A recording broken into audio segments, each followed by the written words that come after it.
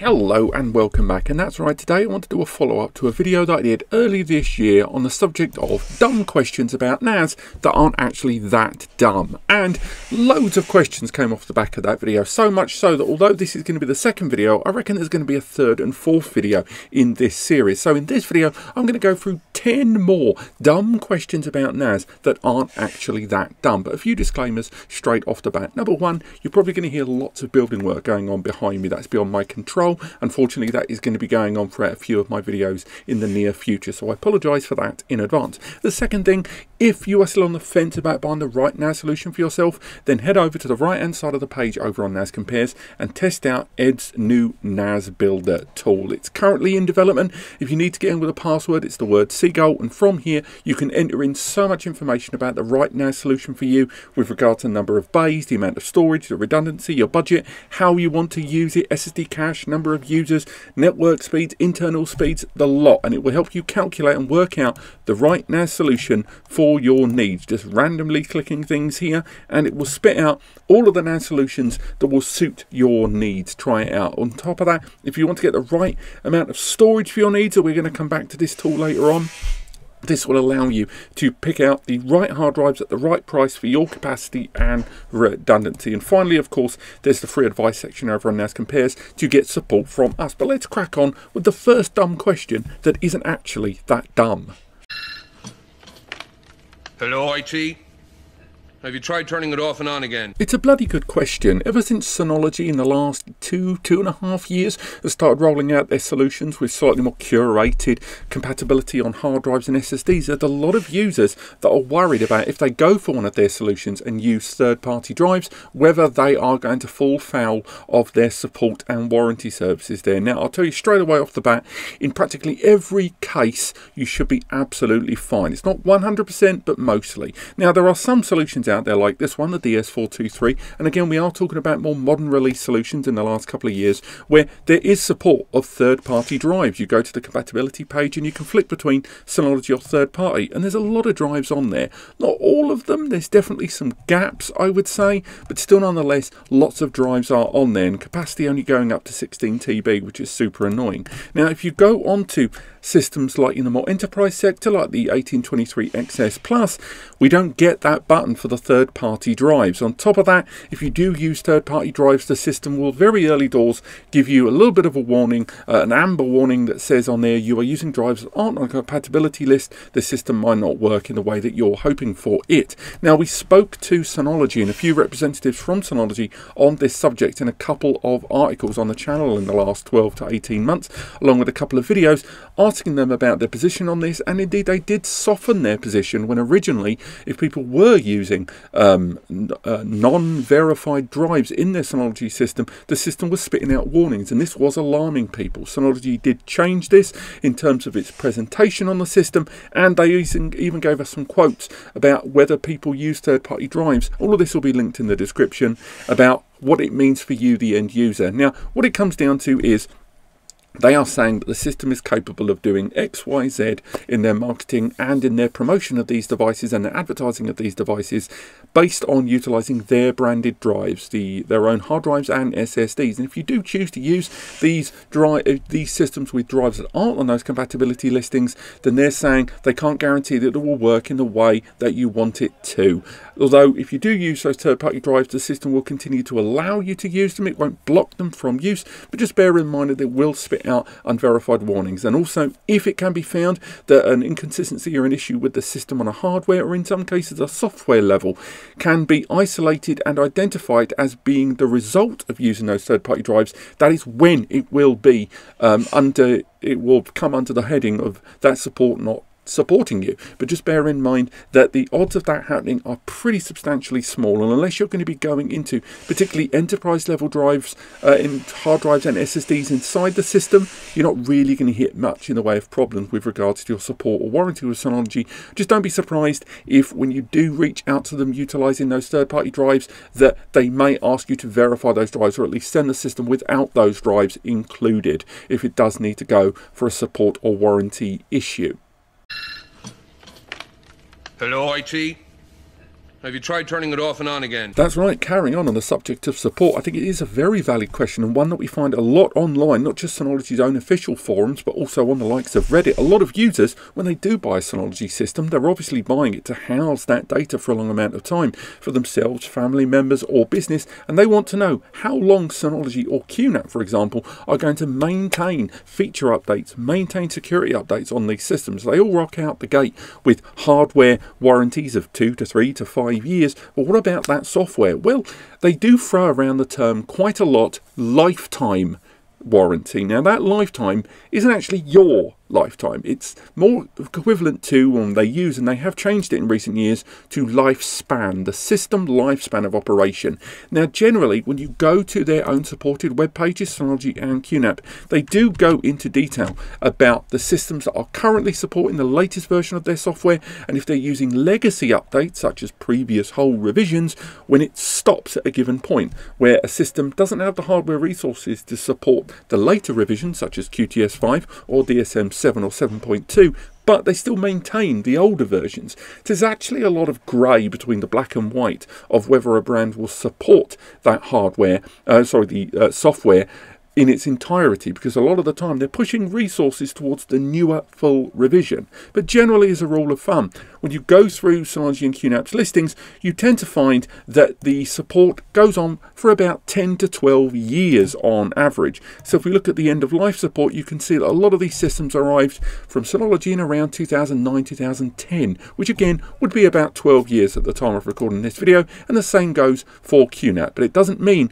that some of these devices that have been released in 2012, 2013 aren't having some kind of limited issue there. As you can see, if you go for the limited tab there, it means the chances are they can't get DSM 7, the latest full version, but they can get access to the previous versions, such as DSM 4, DSM 5, and DSM 6. So, yes, the lifespan of the software support from Synology and QNAP is on average about 10 to 12 years, but of course, it does go down to around about seven to eight years once you start factoring in lack of support of the full updated version releases. And when DSM 8 or QTS 6 roll out the gate, presumably in the next two to three years, you will see another swathe of systems that will no longer support that, but they will support DSM 6 and 7 and QTS 4 and 5.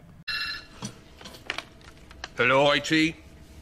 Have you tried turning it off and on again? This is a point that has very much come to the forefront in the last 18 months or so, and we've seen a lot of solutions rocking out from popular NAS brands. Again, we're going to include QNAP, TerraMaster, and Asustor more than any other here, because these are systems that it is actually possible to install third-party OSs on them. And although it's not an officially supported thing, you can go ahead and put both Unraid and TrueNAS quite easily on the likes of Asustor systems, on uh, TerraMaster systems, and on QNAP systems. We've done articles and guides as well as videos of exactly how to install both Unraid and TrueNAS as well as utilising things like Proxmox to run dual OSs on these systems. But of course the big question is, when you do that, does that mean that the brand in question is going to completely turn their back on you? Well, I can tell you I've spoken to Sono uh, sorry, I've spoken to TerraMaster, talk, spoken to QNAP and spoken to Asustor and all three of them have relatively similar positions. Now let's focus on Asustor and TerraMaster first, they state that they, although they don't officially support this, they don't stop users claiming on their warranty if they go ahead and do this. What they mean is if you do install Unraid or TrueNAS on their systems, then they won't support you in terms of how to do it. They won't give you any kind of software support with regards to utilizing Unraid or TrueNAS because that is not the OS they include with their systems, but at the same time they will still support the hardware warranty on those. Now with QNAP, it's ever so slightly slightly different. QNAP have never officially gone out of their way to say that they support, endorse, or will maintain the warranty of any system that has Unraid or TrueNAS or any other third-party OS installed on those systems. Because much like um, with the TerraMaster and um, uh, systems, these arrive with a bootloader of the OS, either on an MMC SSD module inside or arriving on a USB, and you could accidentally delete it from there. So QNAP are very reluctant to give any kind of positive uh, support of this on their platforms. That said, I do review a lot of their products on this channel, and I've done guides on how to install Proxmox, Unraid, and TrueNAS Core and TrueNAS Scale on their systems here on the channel, and I've never once received any kind of negative feedback from them on this, such as them saying, please stop doing that, or, or you won't be able to get any of our review samples, stuff like that that a reviewer may have when there is the give and take with any given brand. And they've never said anything like that, and they've never gone out of their way any of the trade shows that I've attended with either Top Brass or there towards the bottom when I've been reviewing or previewing their products, where they've given me any kind of negative response to any of that content, which only goes to, I believe, indicate that although they probably won't support you, they're certainly not going to assuage many users in terms of utilizing that with their hardware. Hello, IT? Have you tried turning it off and on again? This is a really interesting one, and another subject that is coming even more important and even more in terms of vested interest current right now as we see more and more systems rocking out the gate with either hybrid hard drive and SSD storage areas or dedicated SSD storage as the primary storage of choice on these NAS systems. Now, when it comes to durability, there's no denying that SSD solid state drives aren't as durable as mechanical hard drives. It's because of the way they're used, the way um, electricity is passed through them, and most SSDs rock out the gate with something called TBW, which is terabytes written, or drive writes per day, or DWPD. These are indicators of either one, how much data you can actually store on them per year, or they're indicators of the amount of data in terms of a, a decimal place or percentage that can be written to the drive. So in the case of many drives, SSDs, um, whether they be 2.5 inch SSDs or utilised in an M.2 form, there will be slabs of uh, flash on there referred to as NAND. This is where your data lives. And higher quality NAND generally you will find has a larger and longer period of durability. And over the years we've seen a lot of give and take when it comes to how long SSD NAND will last as the performance of drives gets higher and higher and therefore more write actions happen to the drives. Generally you'll find any disk uh, SSD inside a NAS system that has a drive writes per day of higher than 0.3 or perhaps 0.4 should be absolutely fine. There are SSDs that are labelled for NAS use such as WD um, Red SN700 or the um, Seagate Ironwolf 525s. These have a higher rating of durability than many of their other drives but not that much for. Ultimately, you should only really be worried about the uh, durability of an SSD in your NAS, NAS system depending on the heavy amount of write that you plan to do. Remember that figure I mentioned earlier on of drive writes per day? Well, if a, for example, if a drive has a drive write per day of 1.0 and it was a 1 terabyte drive, that means that you can, within the five year warranty period, be covered for full performance on this drive if you put one terabyte of data on this one terabyte of drive every single day. The odds of most domestic users doing that, or even users using cache, is tremendously small. Now, again, shout out to wintelguy.com. From this website, this is one of the websites I use when I want to calculate um, the drive writes per day on an SSD when all I've got is the terabytes written from the brand. And from here, you can calculate the drive writes per day. And unless you are going to be doing heavy write operations, I really don't think you need to worry about SSD durability on a NAS because ultimately if you were if you're already running this system with SSDs you already have a smaller capacity. And unless your recycle rate is higher than you know refilling the whole NAS system every two to three months those SSDs will last for an exceptionally long amount of time in your system with the added benefit that we're seeing improved RAID configurations such as RAID F1 and anti-wear measures being put into um, NAS software that allows SSDs to be even more efficient long term. Then there are SSDs um, SSD enabled NAS systems where they've limited the performance, such as Acer Store's Flashstor series, where instead of having Gen 3 times 4 lanes that would give you 3 to 4,000 megs, they've limited it to 3 times 1, which will lower the write performance on that system and overall mean those SSDs last even longer. Hello, IT?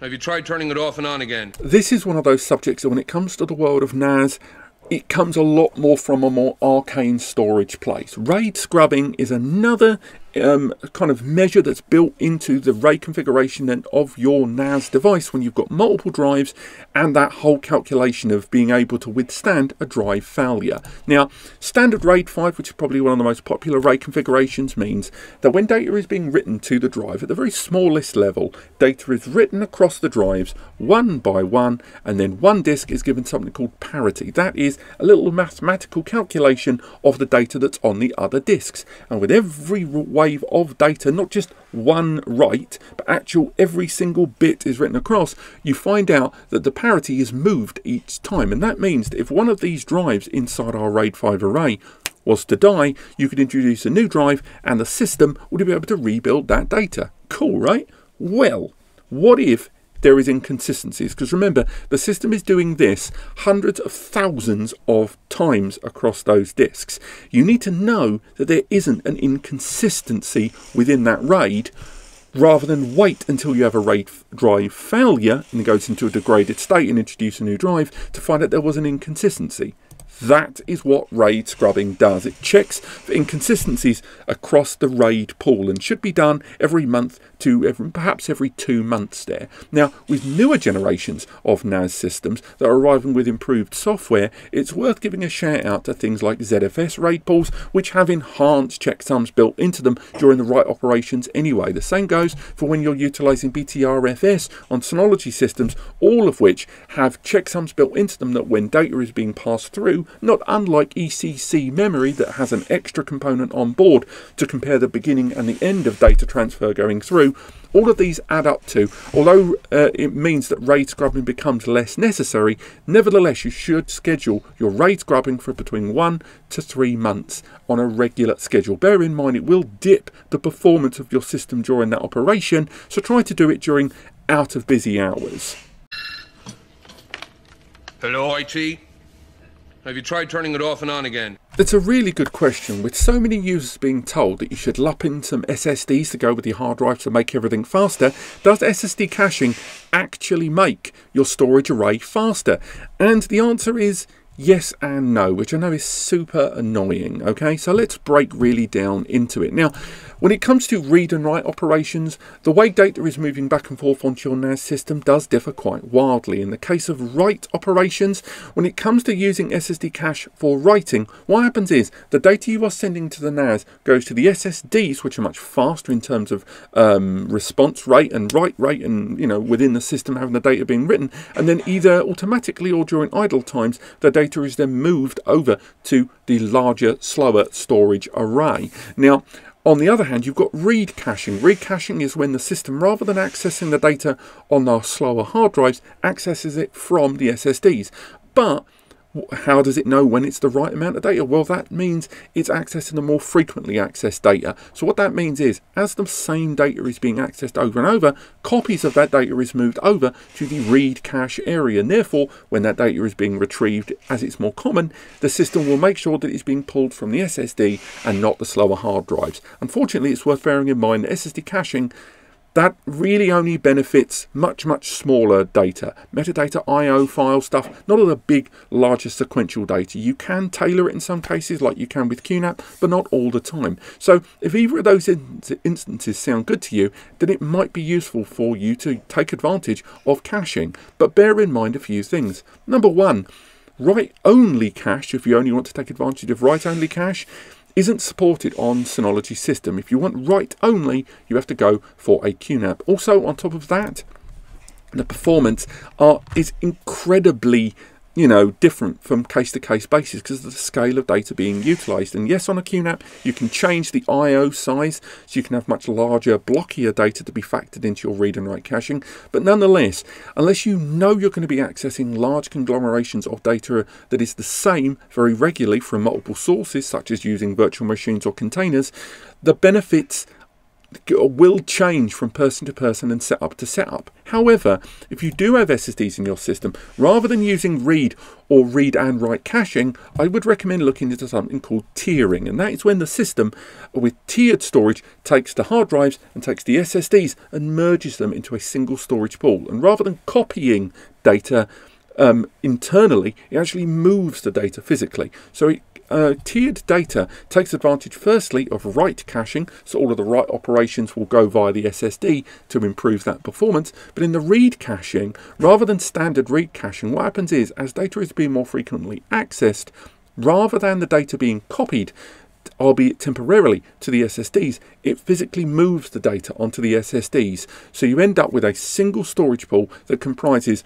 of a cold data area made of hard drives, and you've got warm and hot data where you can introduce multiple kinds of SSD like NVMe and SATA into a single storage pool. Bear in mind that tiered storage is only supported on a handful of NAS platforms, QNAP being one of the most prominent out there. So bear in mind that you may not need to use SSD caching, and I hope this has helped you understand if you do, but just know there are alternatives out there. Hello, IT? Have you tried turning it off and on again? Now, full disclosure, I'm going to skip over this one just a little bit because I've already made a full video on this subject already and a detailed article explaining in some scenarios which is better between having more hard drives or fewer but larger hard drives. Ultimately, the benefits can come down to as follows. If you have multiple smaller hard drives, the, the benefits are as follows. Number one, you can end up with normally a better price per terabyte because if you've got fewer larger drives, drives, not only do those drives cost more because there's more data space and generally you do find that newer drives cost more, but also with those larger drives, you with fewer larger drives, your RAID configuration, such as a RAID 1 or RAID 5, ends up with the loss of data for each of those individual drives because of redundancy being substantially higher. Whereas when you've got multiple drives and you've got one disk of failure protection, the amount of data you're losing and the amount you have to spend on the drives that you're losing towards parity and that redundancy ends up being a smaller impact. Also, when you've got multiple drives of a smaller quantity, you actually get higher performance because once you've got multiple drives being read and written to at any given time, the result is that that improves the overall performance and you get larger speeds. More on that later on with another question.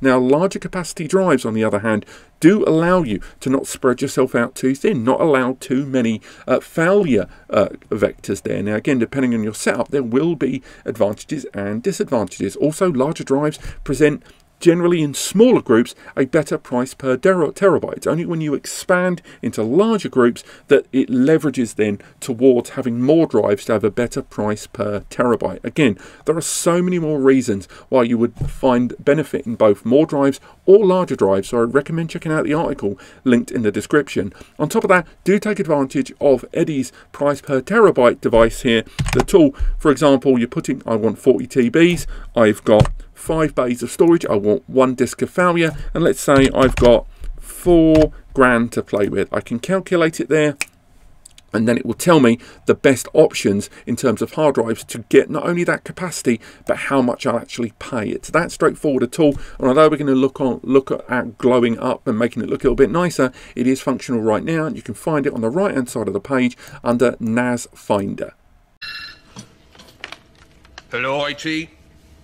Have you tried turning it off and on again? This is one I have discussed in other videos, but unfortunately, because of every time I talk about it, it's within smaller videos, it never really gets as good a coverage as it should. So I just wanted to add it in today's, and that is why is one of Synology's best features, Synology Hybrid RAID, not available on some of their bigger and more impressive systems that arguably many people would think it would benefit from. To save everyone a little bit of time, if you're not aware, Synology Hybrid RAID, unlike traditional RAIDs which require every single drive in the array to be the same capacity, Synology Hybrid RAID allows you to mix and match larger drives into the array and take advantage of the larger capacity that's been afforded to them. So for example, if you went for a 12 bay NAS and on day one you put four drives in it, a few years down the line if you want to add more drives, drives may have become cheaper. You may have got a good Black Friday deal. Ultimately, you may want to use larger hard drives on your existing array, and that is where something like Synology Hybrid RAID would be really, really beneficial. And that's why it annoys some people when SHR is not available on some systems, and those systems being anything with XS, SA, or anything that is deemed high end business, large storage capacity, or data center.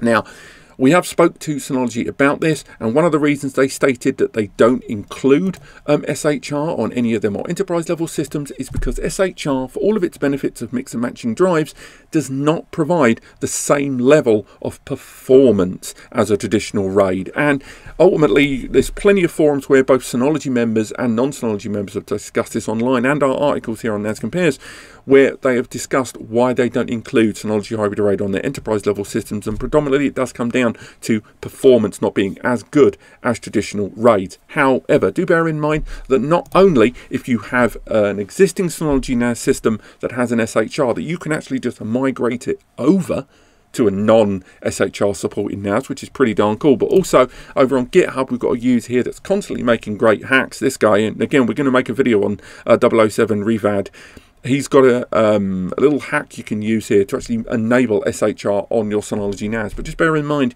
this is using command line and script there in the background over SSH and can lead to your system.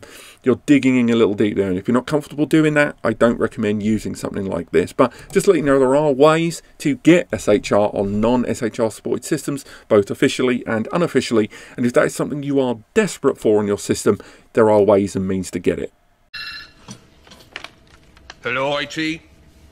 Have you tried turning it off and on again? This always feels decidedly unfair, but it has to be said that whenever I talk about brands here on the channel, two brands that really get shit on a little bit too much for my opinion is Asustor and TerraMaster. Everyone's talking the big game about Synology and QNAP, myself included. Let's face it, I talk about those two brands way more than I do about Asustor and TerraMaster, and I think there is a consistent feeling. A lot of people think, well, those two brands must be crap, right?